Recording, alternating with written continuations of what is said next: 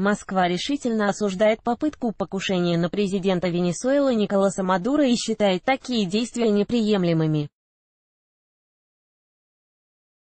Об этом говорится в заявлении МИД России, опубликованном на сайте ведомства. Очевидно, что подобные действия направлены на дестабилизацию обстановки в стране после прошедшего на днях съезда Социалистической единой партии Венесуэлы, наметившего первоочередные шаги по восстановлению национальной экономики убеждены, что урегулирование политических разногласий должно осуществляться исключительно мирным и демократическим путем, сказано в сообщении. В российском МИД также пожелали скорейшего выздоровления пострадавшим в результате произошедшего. Попытка покушения на Мадуро была совершена 5 августа во время публичного выступления президента в Каракасе.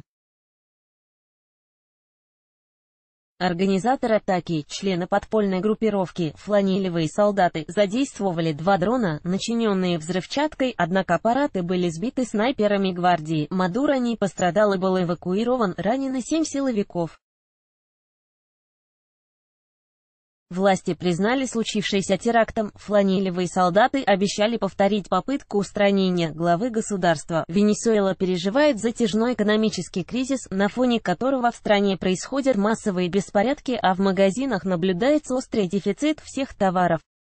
По прогнозу Международного валютного фонда, к концу этого года инфляция в республике может достигнуть миллиона процентов. Больше важных новостей в телеграм-канале «Лента дня», подписывайся.